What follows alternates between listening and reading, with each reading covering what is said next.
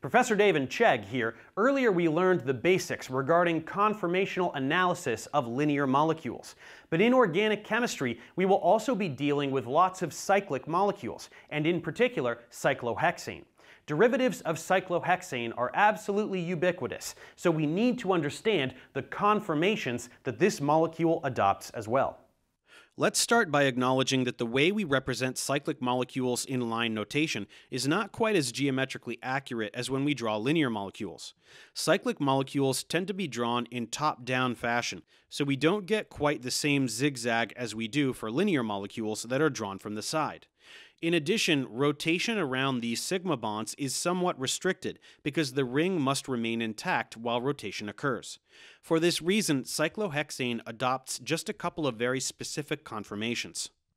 The less stable conformations are the half chair, boat, and twist boat conformations, while the most stable is the chair conformation.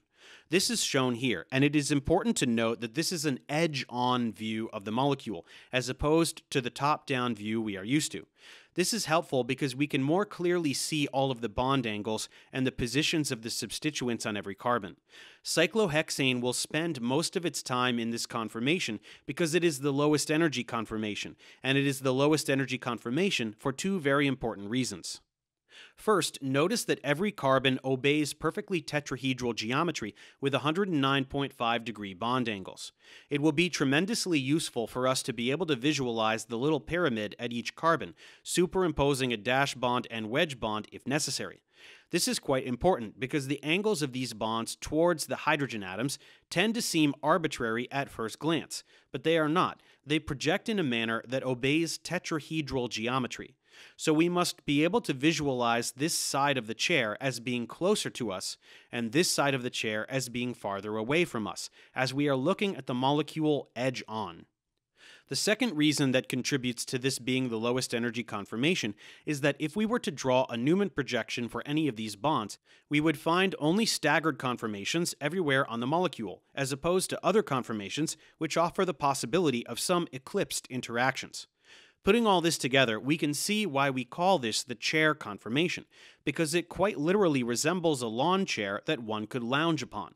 Try to always see it this way, and don't allow your brain to flatten this out into a two dimensional lightning bolt looking figure. We must perceive the implied depth at all times we must be able to draw chair conformations for cyclohexane and its derivatives, so make sure to practice this. Make sure your three sets of lines are parallel and that none of them are vertical, as this makes the geometry ambiguous.